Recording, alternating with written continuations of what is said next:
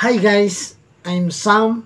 Welcome to my YouTube channel, Sam's Transformation.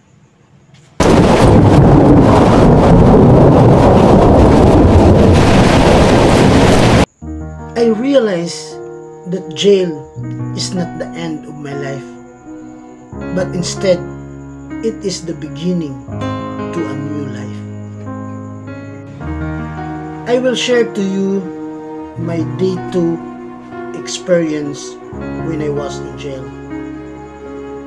I am not alone. Early in the morning at the detention ward, I was very surprised because I have two unexpected visitors.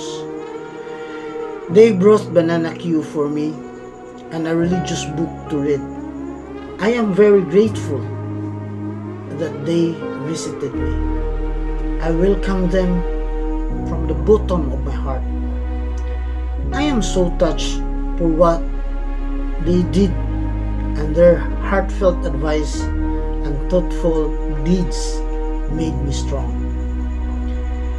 Despite my situation, I could truly say that there are still people who care for me and remember me during my downfall and darkness in life.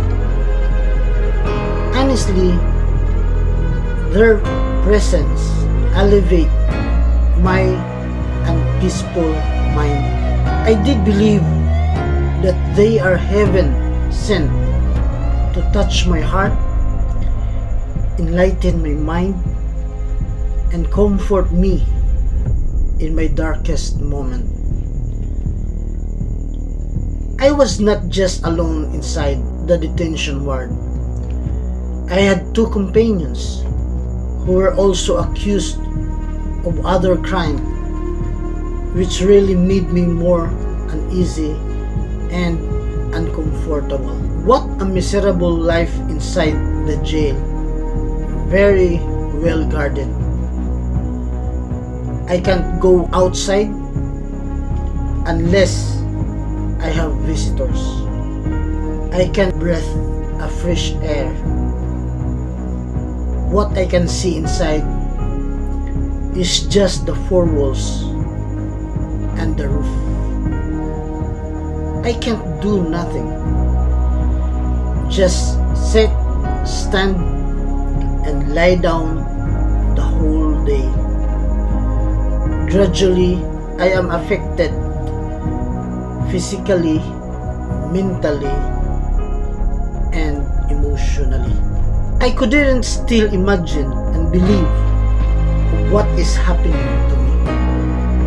It didn't sink in yet. Thinking my family and loved ones left at home, I have to be strong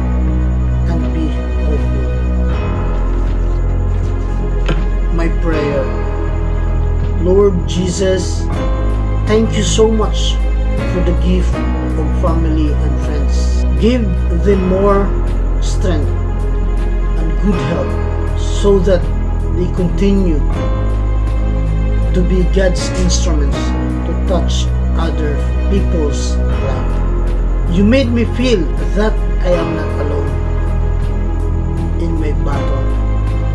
And thank you